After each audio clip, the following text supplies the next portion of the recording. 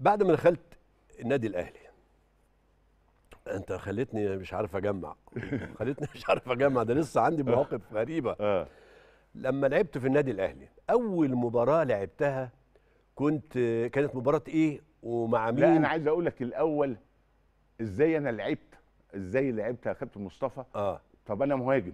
اللي لا خلاني ما دي هقولها دي أنا لسه دي دي قصة ما لوحدها هو أنا. علشان أقول لك أنا لعبت في النادي طيب الأهلي أنت كنت بتلعب براس حربة آه. أو سترايكر آه. في آه. نادي طنطا وجيت النادي الأهلي على فكرة ده ذكاء منك أنت مش م... يعني مش بقولها كده لا وأنا أنا أنا أنا أنا حمدت ربنا إن أنا فكرت الفكر ده وهنا إن أنا جيت يا كابتن مصطفى آه، حلمي أنا أنا حلمي- عاوز ترجع تاني حلمي طنطا. إيه حلمي عاوز ألعب في نادي كبير نادي وإذا كان النادي الأهلي بقى اللي هو اللي بقول لك عشقك. ال- عشق مصر كلها. نعم. وبعدين بقى مع نجوم نجوم إحنا بنحبها. لا وده حلم بالنسبة آه لك. حلم كبير. وبعدين ألعب منتخب ما هو أنا في كرة القدم وأنا بلعب في الأقاليم حلمي إيه؟ إن أنا ألعب منتخب مصر قومي وألعب مع نادي كبير زي النادي الأهلي. جيت النادي الأهلي. فآه لقيت الخطيب بيلعب راس حربة أساسي ومنتخب مصر وهو اللي مكسر قعدت الدنيا أشوف الأماكن كلها مش مش على الخطيب بس أنا أنا الأول كان فكرتي في المنتخب الأول بفكر إن أنا لما أروح المنتخب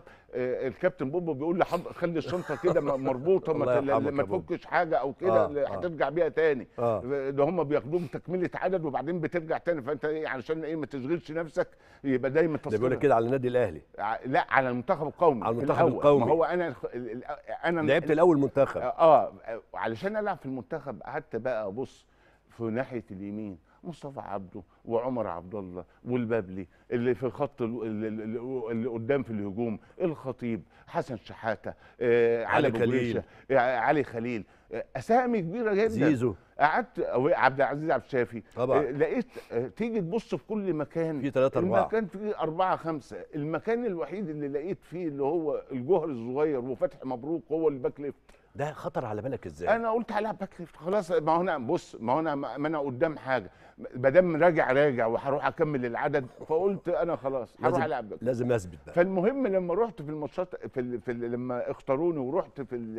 ال... ال... اتفرج عليا ال... ال... الله يرحمه الكابتن نجيب مستكاوي آه. آه، آه، اتفرج عليا في البتاع. لقيته إنه تاني يوم آه، كاتب طبعا أنا علشان م- آه، أصلا مهاجم.